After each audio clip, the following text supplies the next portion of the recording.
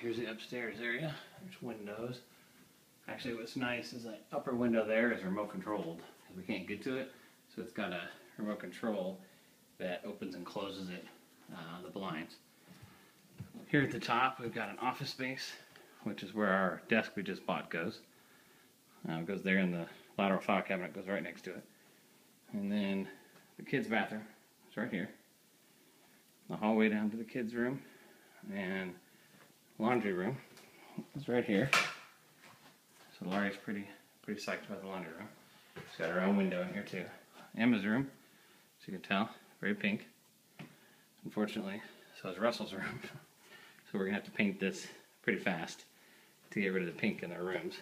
And then our room I'll show next.